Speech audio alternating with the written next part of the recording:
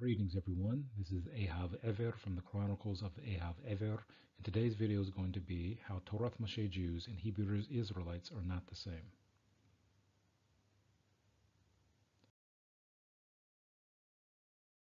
So obviously the question that some people could ask, but I think most people won't, is what do I mean when I state that? Because I've said it in several videos. Essentially what I've said before is that Torah Moshe Jews have their own distinct uh, titles, um, text, concepts, languages, needs, actions, claims, nationalities, etc. And by like token, Hebrew Israelites have their own distinct titles, texts, concepts, languages, needs, actions, claims, nationalities, etc.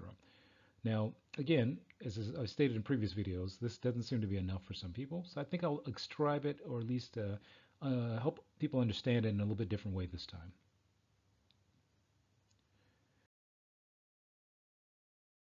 As I've said before, essentially when you have people who have uh, two different concepts, you know, or you know, if you have different ways of understanding things and different cultures they come from, you obviously can't say that they're the same people.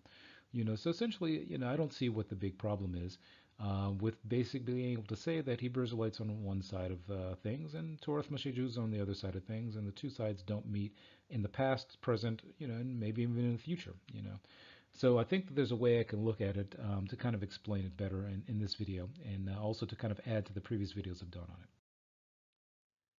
So one question that could come up is how exactly does all this start? Well, for me, it started, I think, around the time that I did two videos about Jewish migrations into West Africa. Now, I want to point out that the videos were called Jewish migrations into West Africa.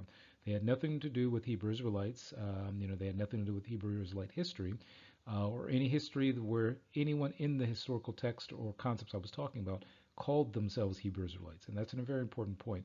Um, you know, essentially I dealt with everything where people were being, you know, calling themselves Jews and, you know, were being called Jews by outside people. But, you know, nothing in the videos dealt with a history that someone could point to and say, ah, this history here, it came from the Hebrew Israelites and the people called themselves Hebrew Israelites.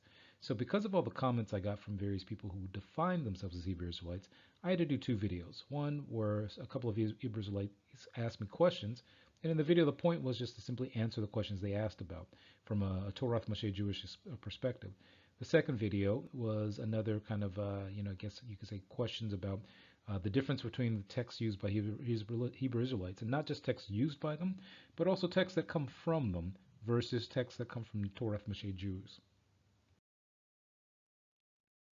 So it's important to note, you know, when dealing with this, and I always try to do this with videos, what do the Hebrew Israelites say, you know, concerning not just my videos, but themselves and also about people who are not Hebrew Israelites.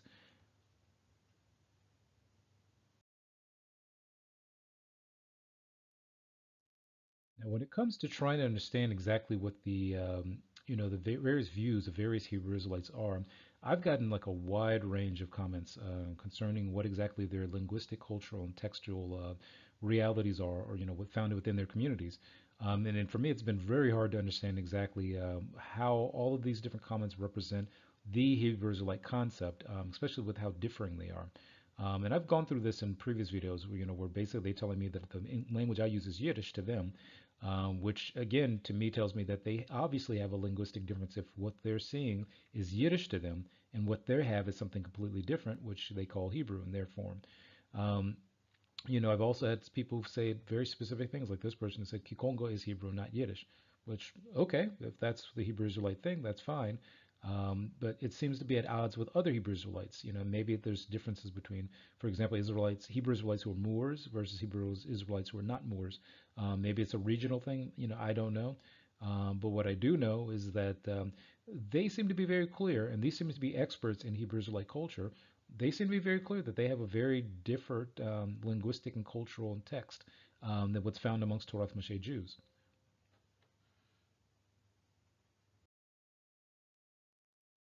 So it's at this point that I would like to go through and show what these differences are. And I'll start with showing exactly what, when I talk about texts produced by Torath Moshe Jews, what they are. So, these texts here you know, are considered to be Torah Moshe Jewish texts. There's nothing in the text, there's nothing in the authorship of the text of anyone who calls themselves or claims to be, the, you know, going by the word or the statement Hebrew Israelite. Meaning that if you were to look up the people who actually wrote these, they describe themselves as being Jewish. You know, so Specifically, you know, we can say, you know, and again, you know, I know with Hebrew Israelites, the Dead Sea Scroll part of it, you can debate about, but this particular Dead Sea Scroll is actually written in the script that's used by the Jews, and it seems to be the opposite of the script that Hebrew Israelites claim is their script. So, from what I understand, this particular Dead Sea Scroll to the top left would be Yiddish, according to the previous um, commenters who were Hebrew Israelites. But in any case, what I'm basically saying is these texts here are considered to be either Torat Moshe or the last one on the bottom left is Samaritan. So essentially, when we talk about Torah Moshe Jews and even Samaritans, these are the texts that we will be talking about. So again, you know, when we go through, we should be able to identify exactly what texts come from where and who wrote them. So for example, these texts came from Yemen. There's nobody in Yemen who ever used the term Hebrew Israelite. Um, and Hebrew Israelites themselves don't claim Yemenite Jews to be Hebrew Israelites. So we can pretty clearly state that there are some differences in the text because of the fact that these are not texts used by Hebrew Israelites and they weren't produced by Hebrew Israelites. And even if we were to say that, hey, there's a group of Hebrew Israelites who use these texts, we know that they didn't produce them. We know that they got them, you know, and purchased them like any other Jew and used them for themselves, but they were not things that were natural to their communities. Um, you know, so again, you know, there might be some Hebrew Israelites out there somewhere using the Talmud, but the Talmud itself never uses the statement Hebrew Israelite and no one in the Talmud claimed to be a Hebrew Israelite. And there are a lot of Hebrew Israelites who claim the Talmud is not from them. So same thing, you know, with any text from the Rambam. The Rambam never claimed to be a Hebrew Israelite and didn't identify himself as any, any anything like that, and didn't come from the regions that the Hebrew Israelites claimed to come from. You know, the same thing for the you know, Rav Saadia Gaon, you know, for the Ramban, you know, for any, you know, authoritative Jewish text that's considered to be authoritative by Hebrews, I mean, by Torah Moshe Jews, these are not texts that you find that any of the authors call themselves Hebrew Israelites. And in fact, the Hebrew Israelites themselves don't claim these people to be from their community. So then when we get into trying to identify, you know, exactly what a Torah Moshe Jew or Israeli is, um, you know, we've covered this in the previous video also you know, in terms of leaders of Torah Moshe Jewish communities, these are the people you find, whether it be from the Mizrahi um, Jewish communities, the Taimani Jewish communities, the Sephardi, the Ashkenazi, the uh, Ethiopian. Um, you know, it doesn't matter where, you know, it's from uh, the Torah Moshe Jewish leadership, um, you know, can be found amongst, you know, these particular rabbis throughout the last 100 years or so. In previous generations, they are, you know, descend from those previous generations and learn from them. By like token, when you're talking about the diversity of, of uh, Torah Moshe Jews or Israelis, um, you're talking about a very diverse group, you know, basically based upon the idea that uh, in the past, Torah Moshe Jews went to different regions and settled in those regions. So if you put everybody back together, essentially what you find is a commonality, um, you know, at, at, various high levels, you know, amongst the text, the language, and what's considered to be the, the correct text in the language. So we could even look at the text produced by the Samaritans. And the reason why I bring this up is a very important one, especially when it comes to certain claims that are made. Um, you know, for those who try to kind of play both sides, where they play this Hebrew Israelite side, where there are certain people who are not the real thing like them, but at the same time they say, oh, well, we use the same text, but then we can't possibly, and I'll show why. So this text here, for example, if we're getting back into this issue of Devarim, uh, 2868, or in um, the Hebrew Israelite language, it would be Deuteronomy 2868, which again, I've said before, is different in their text, at least their original text that didn't come from Jews. Um, within the Samaritan text, you have something that, you know, that's very important. So I've mentioned in other like videos concerning this issue of uh, whether or not the people being mentioned in this text would be selling themselves or be sold. So essentially, what the the um, Samaritan text says is it backs up what I was mentioning in the previous videos that the word v'hitmakartem um, basically, you know, is a word that means that you will sell yourselves, you know, and essentially that later on it says v'ein kone, or in uh, in their languages v'ein gane. So essentially, again, these are the words that to them, according to the Samaritans, mean that the people being discussed here would sell themselves um, and that nobody would buy them. And essentially, what this is is a situation where in uh, the Samaritan talk they would say not Hashem but Shema, um, essentially, you know, was providing a situation where if the people of Israel, of uh, Yisrael, keep the Torah correctly, there would be a situation where, you know, there wouldn't be certain things. And if the Torah was not correct, uh, kept correctly, then there would be other things that would happen in the opposite direction. Um, and essentially, when you go by the Samaritan uh, commentaries on this particular text, it doesn't have anything that equates in any way to the transatlantic um, uh, you know, importation, sale, and enslavement of West Africans. Um, you know, that doesn't come up in, you know, in their commentary at all. So that, of course, would mean that their ideas and concept about their Torah, which, of course, is written in a different script than the ones used by Hebrew Israelites, uh, doesn't come to the conclusion that they have, which again means that they have a, they had originally a different text, you know, and it means that the Samaritans also don't hold by this idea um, that the uh, Hebrew Israelites have. So let's look at something that I consider to be rational in my eyes, but I know that there are some Hebrew Israelites who consider it controversial, and that's dealing with texts produced by Hebrew Israelites. So when we start dealing with this issue, I think it's very important to go through these two comments I got from a particular Hebrew Israelite uh, uh, a number of years ago, and I think he still has his own YouTube channel. Um, essentially, what, one of the things he claimed was that this particular stone, stone called the Los Lunas stone uh, essentially had, uh, you know, it was like it was a Hebrew Israelite text. That was what he was trying to claim, more or less, and that uh, it was written by like a certain group of uh, Native Americans. Which, interestingly enough, I've never seen a Native American from any of these uh, particular groups claim that their ancestors wrote it and that it belongs to them, or claim themselves to be Hebrew Israelites. You know, but again, I don't know. That's something that he, that's between them and the Hebrew Israelites. Now, one of the things that's interesting at the very end of this, at the bottom, this particular Hebrew Israelite or this Moor Israelite mentions something very interesting. He says, um, How many times have I told you we have the same 20 commandments as you do, whether it's the Torah scroll, Tanakh, the King James Version 1611 Bible, or English translation of the Torah? Now, this right here to me points out something very interesting. Because of the fact that in a Torah Moshe Jewish community, a King James Version 1611 Bible is not being is not used. We don't consider that text authoritative in any way. Um, English translations, for the most part, are not even authoritative. So obviously, by him saying that they use a King James version of a 1611 Bible, and by him saying they have 20 commandments, that's obvious. I mean, in the 20 commandments part, could have been a slip up on his part. It may have just simply been. But the minute he mentions this Los Lunas stone and the King James version of the Bible, he's immediately saying that this is not Torah Moshe at all. You know, as far as you know what he's talking about, it's a Hebrew Israelite thing. You know, and that has nothing to do with Torah Moshe Jews because the Los Lunas stone is not authoritative to us in any way and this is the stone. Now, this is the stone that this person was describing. Now, I've heard of this stone, but even before I heard of this person. And the thing is, is if you take this and if you, like, let's say you go and learn the type of like, language that's written on this. Now, anyone who can decipher it, because it's very hard to decipher some of the letters, because whoever wrote this was not read, write, writing in a script that you find archaeologically here in the Middle East. Um, when they find, you know, like Paleo Hebrew writing, it often doesn't look like this. I mean, this is very sloppy in some way um, even though the person, whoever wrote it, was trying to like line it up correctly. Um, but what's interesting is that there's spelling mistakes in this, like in a number of different areas, that would mean that if they were not incorrect, you know, misspellings, for example, it means that the person who wrote this, like, either was, you know, didn't know what they were talking about because they made some very critical mistakes, or that the Hebrew Israelites have a different language. So again, this person claimed that this is a Hebrew Israelite text from one of their tribes. Um, you know, so again, that's up to, between him and them. Not something that even matters to me because it's not a, an authoritative text for, for Torah Moshe Jews.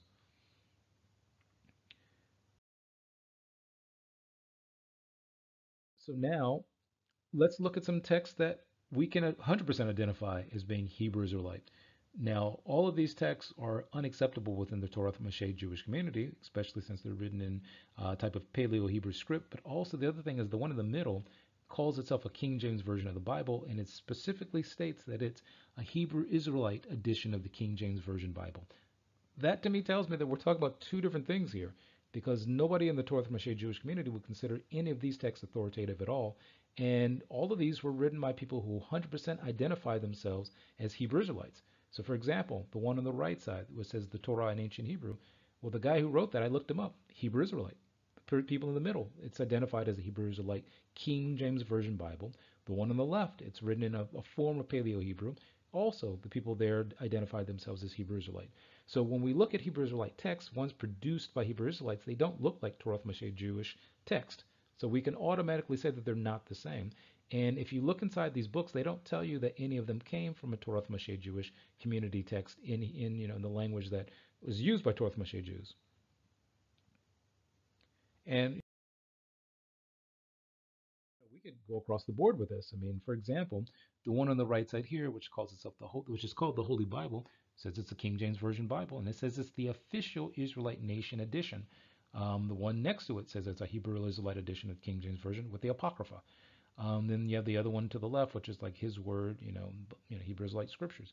So again, when Hebrew Israelites produce their own text, these are the kind of things you see, and these are the kind of things that you know, or make themselves distant from something that's Torah Moshe Jewish, which is perfectly fine. If this is what Hebrew Israelites say comes from their tradition, that's perfectly fine. But it's not the same thing as what we Torah Moshe Jews have. And if someone were to bring this to a Torah Moshe Jew and say, hey, this is official to you, we would say, no, we're sorry, but that's not. Maybe for you it is, but for us it's not. It's not something that came from our ancestors.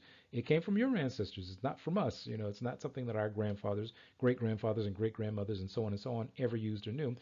This is all your stuff. It has your, you know, your titles all over it. It doesn't belong to us. And it's because of this that I said to myself, okay, well, based upon all the different claims that have been made by Hebrew Israelites um, on the uh, videos I've made, I went back and tried to reconstruct uh, a text, you know, of, for example, Deuteronomy 28:68, based upon their responses about it, based upon their descriptions of what it means to them. And what I basically did was put it in Paleo Hebrew and made it very clear in the text itself that it would be talking about people from West Africa, you know, who were taken across a big river and sold into slavery by people who were white, and that they were sold and that somebody did buy them which essentially is, of course, different than what the Torah Moshe text says. But you know, again, this is the only way I could understand, you know, where they could get something like this without there being what's called a Masorah or being um, a passed down tradition about how they came to the conclusion that a text that doesn't say certain things all of a sudden does say those things. But again, this part, you know, if you want more details on this, this video here is the one where I did this and at the end described it. Um, and basically, again, I reconstructed this based upon the fact that A, there is no, you know, I've never personally seen a Hebrew Israelite text from prior to about, like, let's say 500 years ago that supports their claim. B, I went back and said, okay, well, all the different descriptions that Hebrew Israelites, you know, have told me about their history, their claims, you know, it obviously would have to be reflected in their text somewhere in order for anybody to know that that's what it is. Uh, because again, the only other way I would know that they could claim these kind of understandings um, would be if they say that some, you know, like um, you know, miracle happened for them to all of a sudden get this information and then pass it down, unless they're saying that their grand, their parents told them this, their grandparents told them this, and their great grandparents told them so on and so on. So again, if we're trying to identify, you know, Hebrew Israelites, I mean, look, we can look at this picture and everybody, I think, would say Hebrew Israelite. It's pretty clear that that's what we're talking about here. Um, you know, the the act of standing on a street corner, you know, with a microphone, saying certain things, using certain books, somebody reading in this format, this is pretty clear cultural Hebrew Israelite, and this is not something you find in Torah Moshe Jewish culture. Okay, so again, I mean, if we look at this, you know, we can tell that this is culturally something completely different than what you find amongst Torah Moshe Jews. Um, it's not the same, you know, so culturally speaking, you know, we can obviously say that we're not talking about the same groups of people here, um, and that uh, the ancestry of both sides would be different, which seems to be something that even Hebrew Israelites agree on, that they culturally come from a different situation um, than Torah Moshe Jews, which again, I'm only going by their comments, and it only makes sense um, because I don't know any other way that somebody would be able to ha- address this historically speaking.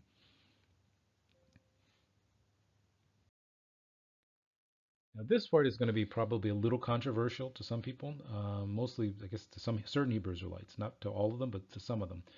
And this is one of the things I find very interesting, especially with uh, some of them that have tried to criticize what I've said about them having a different uh, text uh, than Torah Moshe Jews. And in reality, what I find is that quite a few of them who try to make this claim that they use the same thing we use, that often what they're describing is that they've actually purchased for themselves Ashkenazi Jewish texts and are using them, when in reality, you're basically using Torah Moshe Jewish text, and it was, you know, that was not produced by anyone who was a Hebrew Israelite, which is a big difference than saying that it's like a text that they came, that came from them, and I'll explain why. So not long ago, remember, I think I've done a couple of videos where I was dealing with this whole uh, um, from the from the I guess you could say Hebrew Israelite perspective, the Deuteronomy 28:68 uh, issue. And the last video I did was you know Deuteronomy 28:68 versus Devarim, you know 28:68, for example, meaning that the Jewish text is different than the Hebrew Israelite you know construction that I did based upon their claims. Now, one of the um, particular Hebrew Israelite leaders who did a video about this, he brought up a very interesting point he you know brought up something saying that hey look you know you know this guy is wrong you know that he's like claiming that we have a different text we use the same text there's a stone edition Tanakh versus the Aleppo Codex, which he at one point had criticized, but then it was like it was okay, but you know, back and forth. And essentially what he was saying was like, we use the same text. But one of the things I found interesting when I thought about it was like, well, wait a minute. This is like comparing apples to apples. Why is that, do you say? If he's using a stone edition Tanakh and he's a Hebrew Israelite, why is he using a Jewish text versus a Jewish text? Meaning, the both of these are Torah Moshe Jewish text. Why is that? Because the stone edition Tanakh was, you know, basically put together by Ashkenazi Jews. Here it is right here. This is the stone edition Tanakh. Read through the information and look who edited it. It's edited by Rabbi um, Nosson um, uh, Sherman. And Rabbi um, Nosson Sherman is this man right here, who's an Ashkenazi Jew. Why is a Hebrew Israelite using an Ashkenazi Jewish Tanakh? You know, when he's got Hebrew Israelite options out there, supposedly, that he would be able to use. That to me is, is something interesting. Now, again, I know that there's probably some explanation that they have, but essentially by saying that you know they use the same text, what he's essentially saying is that they use an Ashkenazi text, which is the same as the Aleppo Codex, which to me is what I've been saying for the longest, that Torah Moshe Jews, which Rabbi um, Sherman is a Torah Moshe Jew, the Hebrew Israelite is willing to use his text that he put together and you know basically try to compare it to the Aleppo Codex, which is the same thing. And again, one of the things I find interesting about this Hebrew Israelite who tried to do this that he didn't mention anything about the other text I brought up, like the Leningrad Codex, like the Yemenite code, you know, text of the Torah, like the Samaritan Torah. He didn't bring up any of that other stuff, just the Aleppo Codex. But it's funny enough to me that he was using a stone edition Tanakh, which is an Ashkenazi Jewish Tanakh and trying to compare to the, the Aleppo Codex, which means that he's simply taking a Torah Moshe Jew text from one region and comparing it to a Torah Moshe Jew, Jewish text from another region, which means that they're basically the same, but it doesn't support his idea that the Hebrew Israelite idea somehow, you know, somewhere in all this stuff when it, it's a text that has nothing to do with them. So that's where I, I found this kind of interesting. Now, further to this, in the same video, the person um, was trying to make this claim about why uh, Deuteronomy 28:68, from their perspective, you know, meets all the standards of it being something about um, uh, the transatlantic, uh, you know, enslavement of Africans. But here's the thing that's funny about it. In order to prove another point later in his video, he used the website called Sefaria. Now, Sefaria, you know, of course, is not a Hebrew Israelite, uh, you know, source of information. It is, you know, if you look here, it says the following about Sefaria. Sefaria is an online open resource, free content, digital library of Jewish text. It was founded in 2011 by former Google project manager Brett uh, and journalist author Joshua Foer, and the CEO is Daniel uh, Septimus. Now, let's take a look at who the one of the founders that are mentioned here, Brett uh, and I apologize if I'm mispronouncing his name. He's at the top here, and the current CEO is at the bottom these are, you know, as far as I know, you know, Brett Luxbeer is an Ashkenazi Jew. I'm not sure about uh, Brett Sittimus, but you know, he's obviously not a Hebrew Israelite. Neither one of these men are Hebrew Israelites. So it's strange to me that someone who's Hebrew Israelite is trying to make this point and using Jewish texts to do it. And you know, essentially, of course, Jewish texts are the same because they're both Torah Moshe Jewish texts. That's why they're the same. You know, obviously, when you look at a text produced by Hebrew Israelites, they don't come out the same you know, because again, we looked at what some Hebrew Israelites produced as their own text. They don't look the same, and of course, when they say that they're the King James Version Bible, that's not the same at all either. So, one of the things I know that some Hebrew Israelites mention about this whole thing is they say, well, the only correct way for the for their you know I guess their understanding of texts that either are theirs or not theirs to be understood is esoteric. Now, the funny thing about the claim of something being esoteric is that it's designed, you know, basically the meaning itself is designed to be understood by a specific, limited, uh, you know, in, initiated alone group of people. Meaning that, you know, there's only going to be a small group of people who understand this thing because they were initiated into the understanding. Um, and that this basically small inner circle of people are the ones who get to understand it. But here's the problem that I see with that. You know, again, it could be whatever it is. If that's the definition that is being used by Hebrew Israelites, how exactly did these individuals who you know who put out these ideas by Hebrew you know Hebrew leaders, where did they get the information from? Who initiated them into it? And then who initiated the people who initiated them into it, so on and so on. So again, it's like, okay, well, are you saying that during the enslavement of you know certain uh, types of um, um, African Americans, you know, who now claim to be Hebrew Israelites, are you saying that during that whole time that there were people who were passing down this information, specifically about Deuteronomy 28:68, saying that, hey, everybody, If you ever want to know who the real Hebrew Israelites are, it's in this one particular line of this big text here. Just this one line is enough to let you know who's who. You know, nowhere in the text does it say that that's how you identify anybody as being a Hebrew Israelite. And in fact, the statement Hebrew Israelite doesn't even show up in the text at all. You know, so that's where I say that this whole idea of something being esoteric brings up a number of problems. But again, it's it's one way that some people can kind of wiggle their way out of, uh, you know, certain uh, things. Where like in the previous video I showed how you know there are conclusions that I was mentioning that you know come from you know Torah Moshe Jews more than 2,000 years ago about what the Torah in Hebrew means. Um, you know, and it wasn't just me making something up, for example. Um, and this is the thing that I find interesting. So, like, let's say, for example, we want to say, well, what did Hebrew Israelites 600 years ago? You know, if there were such a thing 600 years ago, how did they understand Deuteronomy 28:68? Where are their commentaries about the text? Which text did they have? Did they have like the Jewish text, the Samaritan text? Did they have it in Paleo Hebrew? Where can we look at these texts and analyze this idea? Because other than that, if it's esoteric, then you would have to be able to say, well, this is where I got it from, and then this is where the person gave it to me, where he got it from, and so on and so on. You you know, and that's why I say that one of the problems the Hebrew Israelites have is that there are other African American groups who say that the history and ancestry of African Americans is this other thing that's not Hebrew Israelitism. Um, you know, and they should be contending with that rather than contending with me because again, it's not my place to tell anybody what their background is.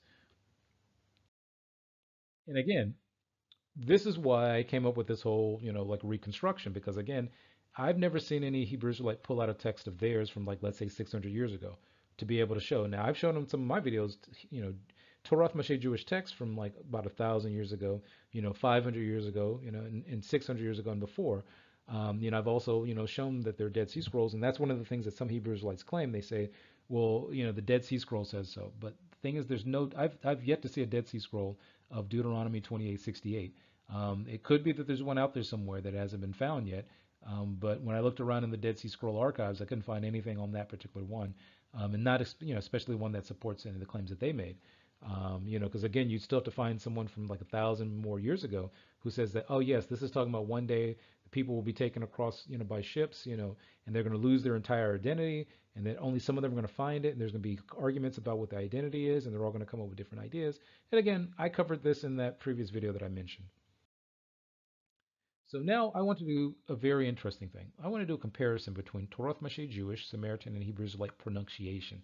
Because I think if we can kind of cover the pronunciation being different, which it is, then we can say, okay, well, obviously they can't both be from the same background if they're speaking, you know, two different languages, and if if the you know the the way it's used and the grammar is all different, you know, we can't be talking about the same thing here. So is go over this video that was made by a guy named Zion Lex. He was the one who did the two videos, I think, about addressing things that I mentioned in some of my videos. Um, now I want to kind of look. He did a video called Hebrew Israelites for Dummies. Now, one of the things I find interesting about uh, this particular, um, you know, like some of the information in this video, at least the cover part of it, is the statement right about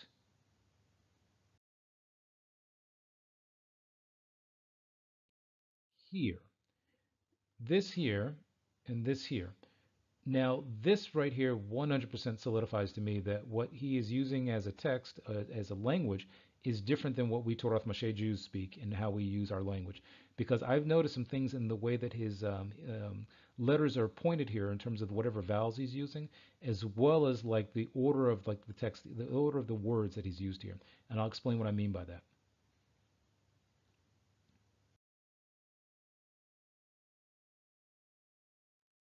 Okay, so if we get into the differences in pronunciation, let's start here.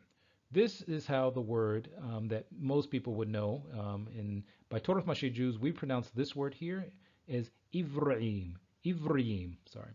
So Ivraim is how we pronounce it. Ivraim. So Ivraim. That's you know how you would pronounce this word. Now the next step over, I would say, okay, well let's look at what you know how Samaritans pronounce it. Now Samaritans, I think that's closer to them. It would be Ibrem. Ibrem. Now, again, my Samaritan's a little rusty, so Ibrem is, I believe, how they would pronounce this. And you'll notice that in one of the, you'll notice that there's some letters that they have less of. They have less yuds in their language than um, than uh, with uh, Torah Moshe Jews. Now, this is what uh, this particular person, Zion Lex, had in his video. So in his video, he had this here, which would be pronounced Ibrim. Ibrim. Now, you'll notice that his pronunciation is different than the Torath Moshe Jew one. The Torath Moshe Jew pronunciation is Ivrim, Ivrim, where his is Ibrim. Now, his is a little bit more similar to the Samaritan, which again, maybe you know, maybe he's using Samaritan Hebrew, um, but his is different pronunciation-wise than what is used by Torah Moshe Jews. And that difference, you know, also comes up in this area right here. He's got a situation here where he's got resh with a chirik under it, and then two yuds after it. In Jewish Torah Moshe Jewish Hebrew, you know, in the language we speak in Ivrit, this wouldn't work. This is not something that would be done in uh, the Torath Moshe Jewish language. So again, in his dialect um, that he speaks, that is the dialect of Hebrew Israelites, it appears that they have a different element of grammar that's involved there. Now the next area here is this particular word here. He has a word there called Yisrael. Now you'll notice under the last letter on the left, the lamed, there's a nikudah there called chirik, but that's because he had Yisraelim. But I want to focus on just the first part, Yisrael, that he has there. So this again would be pronounced Yisrael, uh, for example. Now, comparing this to a similar word amongst Torath Moshe Jews, amongst Torath Moshe Jews, the word you see there that just appeared is Yisroel. Yisroel. So you'll notice that pronunciation-wise, there is an extra um, vowel there that's under a different letter than it is under the one that Zion Lex uh, had in his video. So that would tell me that uh, Torath Moshe Jews and Hebrew Israelites have a different uh, language of pronunciation for this particular word, and the words are even different. Now, the Samaritans, on the other hand, pronounce their word here Yishrael. Yishrael. So you'll notice that one of the things that's interesting here is in, in this particular Hebrew Israelite writing, they have a letter that's not here that you see in both the Samaritan and the um, the um, Torah Moshe Jewish uh, text, and that's the Aleph. So in the Hebrew Israelite um, version of this word, they have no aleph there. But in the Torah Moshe as well as um, Samaritan, there's an aleph there. So that means that the language of Torah Moshe Jews and Samaritans is closer to each other than it is to the Hebrew Israelite language. Now the other part here is that under the resh here of the uh, Torath Moshe Jews and Samaritans, there is a, a, a, vowel there that doesn't show up in the Hebrew Israelite text uh, that was written by Zion Lex in his video. So that is the resh within the um, the Torath Moshe Jewish version. It's komotz, and in the um, the Samaritan version, um, I don't know the name that they use for it, but it's more like a ah sound. So that's where you would see a difference in pronunciation, and that's why I say that this is you know we're not talking about the same language here at all. Um, you know there may be similarities to it, but in something that's produced by Hebrew Israelites, they often, from what I've seen, have a different pronunciation of it, and it appears they have different rules of grammar.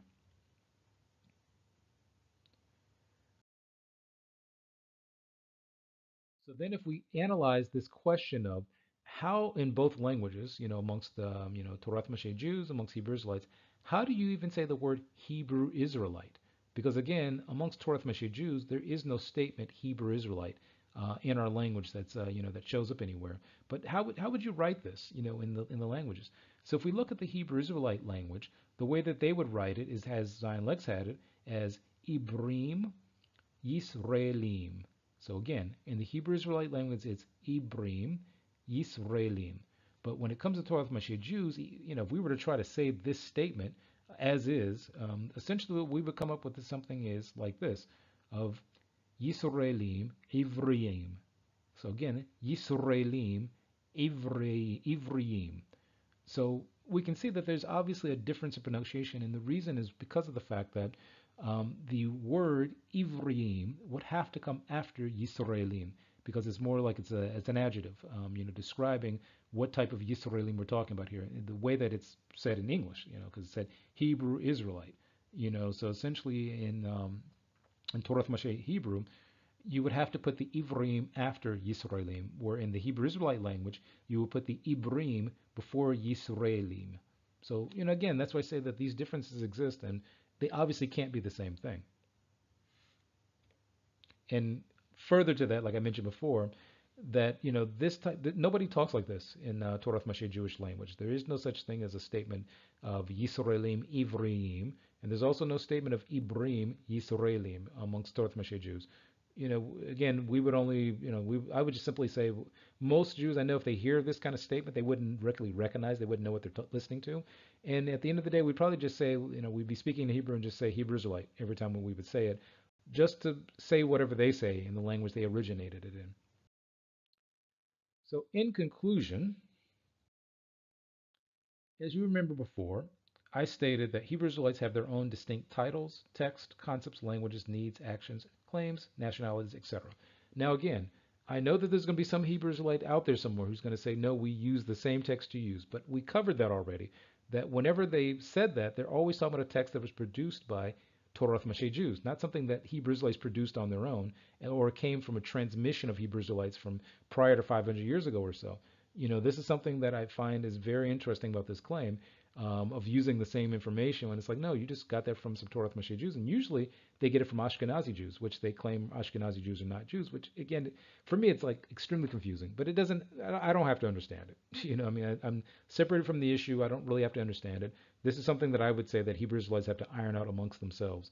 Um, you know, so this video again was done just to kind of cover these issues because like again I noticed that there was a video that was made in response to my previous two and this will probably be the last time I ever mention this again because again it, it just doesn't make any sense to me and it doesn't have to um, you know and again I only talk about this because I'm, I'm open to any kind of uh, criticism I'm open to any kind of uh, information that someone may have and again I have like a group of questions that I've kind of reserved for anyone who tries to say that Hebrew Israelites and you know Torah Moshe Jews have the same stuff. I asked a couple of them this these group of questions once. I think it's like about 15 questions, and I said, well, okay, well, how do you guys do A, B, C, and D? And in every single situation, people were like, well, I don't know what you're talking about, or I have to ask someone, and they never get back to me. And I'm not willing to say it here because, again, if someone brings up this whole idea we're doing the same thing, it's like, okay, well, we're not really because you keep saying things that contradict what we go by, which is fine. You know, nobody's telling you not to claim what you're claiming. Um, but then you seem to kind of have this idea that if someone doesn't agree with you, there's something wrong with them. Um, and I, you know, I, am one of those people at the moment. I can't really listen to too many Hebrew Israelite videos, especially some of the ones that um, have like a lot of sound sound effects on them. Because um, my thing is just like, let, let, me just have the information quick, easy, and be done with it. You know, this video I'm hoping to not be under 40 minutes and not be something that's like very long. Um, so again, in order to close this up, you know, I think this is the last time I'll ever talk about this topic, but I just felt like I needed to do this one more time. So this is Ehav Ever from the Chronicles of Ehav Ever, and I thank you for listening. Take care. And bye.